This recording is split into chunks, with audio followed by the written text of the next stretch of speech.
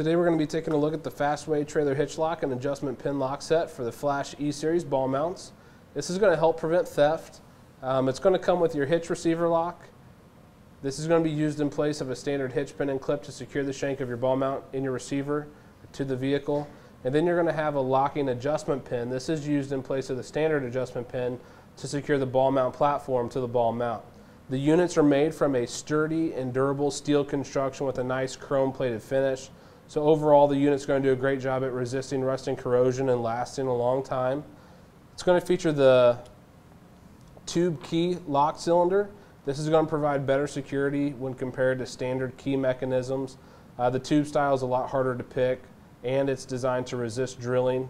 Uh, so it's more difficult to duplicate keys as well as they use a very unique design. Now each key slot is going to have, there's going to be one key slot on each um, lock or each pin.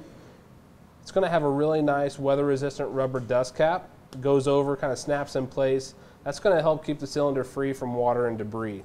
The keys that it comes with, it's going to be two total and they're keyed alike. So any one of the keys will work on either one of the locks.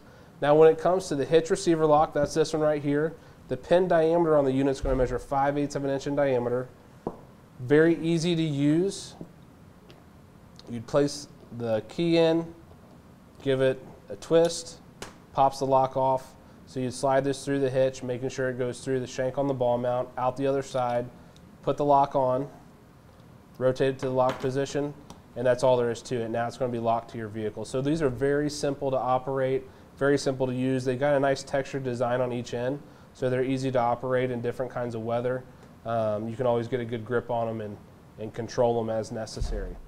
Now the inside pin length on the hitch receiver lock, measuring from this point here to this point here, that's going to give us a measurement